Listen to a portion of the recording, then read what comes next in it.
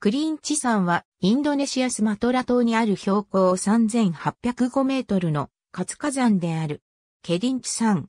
西スマトラ州のシュートパダンの南東約 130km、ジャンビシュートの境にそびえる。同島の赤量をなすバリサーン山脈の中心で、イリアンジャヤを除く同国の最高峰でもある。安山岩質の清掃火山で、山陽は美しく、神の永住地と呼ばれる。別名インドラプラ火山。1838年以降十数回の噴火記録があり、近年では2009年に噴火、2011年にも火山活動が活発化した。2013年6月3日、4年ぶりに噴火し、山麓の村々は熱い火山灰に覆われた。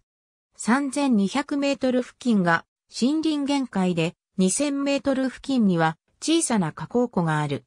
山麓一帯は土壌が肥沃でコーヒー園や茶畑が開かれている。温泉があり、地熱発電が計画されたこともある。